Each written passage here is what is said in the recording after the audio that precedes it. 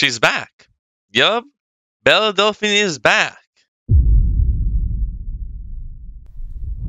We all know her, but if you don't, let me remind you then.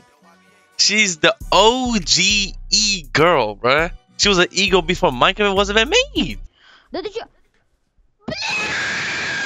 Hell, she was an E girl before Earth even existed. Bye bye, Russia. She's also the girl who sold her bathwater that people actually bought and drank that shit. I don't know why people do that, but okay.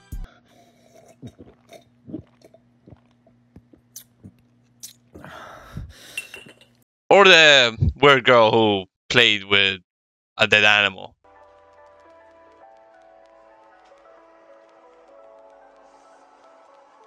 Yeah, you see that octopus? Yeah, that shit's dead.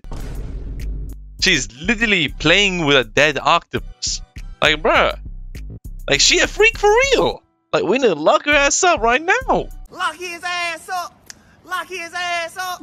Anyways, the reason I made this video is because she needs to pay that rent. And she's back in again with her freaky ass shit. So I scroll on Twitter and I see this shit.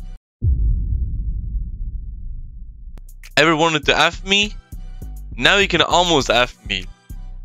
I'm selling my very own customized toy, including my own clothes and worn panties.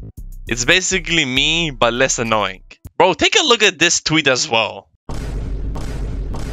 Bro, it's literally a coffin with a doll in it. Like, you know what kind of doll, doll I'm talking about, you know what I'm saying? Like, bro, imagine buying that and it goes through customs and they check inside of that coffin and it sees a Belle Delphine doll.